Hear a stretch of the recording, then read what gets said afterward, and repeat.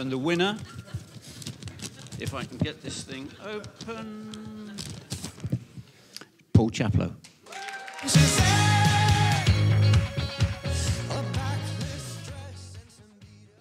Thanks very much, everybody. CPSA, it really means a lot to me. Um, I was stood here four years ago. I was lucky enough to win uh, Shooter at Year Award. This was totally out of unaware to me. I didn't expect to be in this uh, clientele. Um, everything I do is from art. I just do it for the passion, the love, the sport.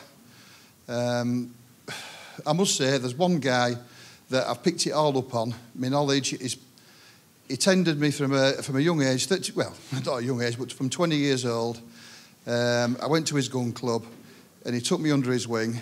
Um, he brought me onto North of England region. Um, a guy called Malcolm Midgley, he's no longer with us. Um, and he nurtured me through it all and what have you. And it's just nice to be continue on where he's left off. And thanks everybody, all my sponsors, everybody, uh, everybody. It means the world to me. Thanks very much indeed. Cheers. Shock, total shock out, out at blow to be uh, a nominee, to be quite honest with you, uh, against you and Mike, who have been around it uh, for a few more years longer than me, even though I've been doing it for 30 odd years.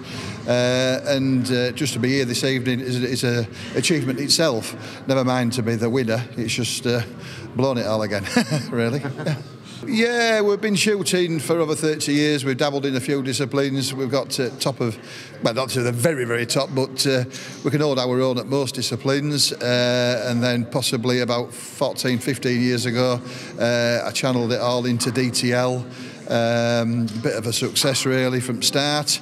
Uh, continue to grow. Just just enjoy doing it. Um, I'm also uh, an active member for 20 years on North of England. Um, regional committee. Uh, I hold the vice chairman post at the moment. Uh, and it's something I'm fairly passionate about, promoting sport, promoting for youngsters, etc. There's a few youngsters that we nurture, you know, nurture along, so to speak.